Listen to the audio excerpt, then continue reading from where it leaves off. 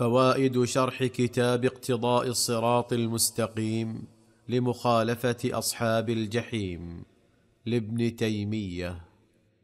قال كانوا يستحبون خفض الصوت عند الذكر وعند عند القتال. الذكر عند ذكر الله عز وجل. عندما يذكر الإنسان ربه فإنه يخفض صوته لأن هذا يدل على الإخلاص من ناحية وأيضا يمنع التشويش. نعم. إذا كان بجانبه من يذكر الله خصوصا إذا اجتمع المسلمون في المسجد لانتظار الصلاة فإنها فإن الذي يذكر الله يخفض صوته أو يقرأ القرآن يخفض صوته لئلا يشوش على المصلين والتالين من أمثاله. ولما خرج النبي صلى الله عليه وسلم وهم يصلون صلاة الليل ويتهجدون متوزعين أوزاعا متفرقين كان بعضهم يجهر.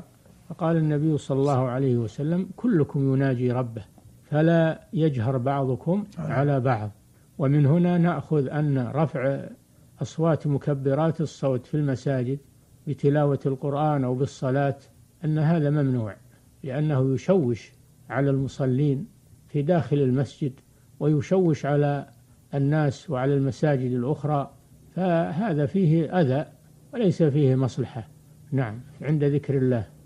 قال عند الذكر وعند القتال وعند, وعند الجهل. القتال كما سبق أن الصحابة كان يظهر عليهم السكينة والطمأنينة وعدم الفزع. نعم. وعند الجنائز. وعند الجنائز. إذا حملوا الجنازة يكون عندهم سكينة ولا يكون عندهم أصوات أو يقال وحدوه ادعوا له استغفروا له أو ما أشبه ذلك. فإن هذا من البدع المحدثة. نعم. وكذلك سائر الآثار تقتضي أنهم كانت عليهم السكينة في هذه المواطن مع نعم. امت- نعم. مع امتلاء القلوب بذكر الله وإجلاله وإكرامه كما أن حالهم في الصلاة كذلك.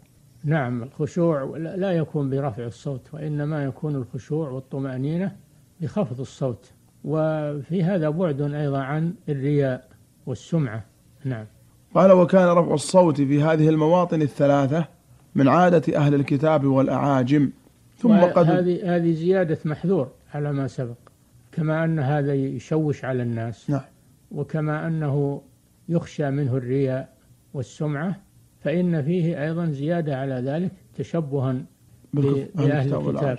وبالأعاجم. ونحن منهيون عن ذلك.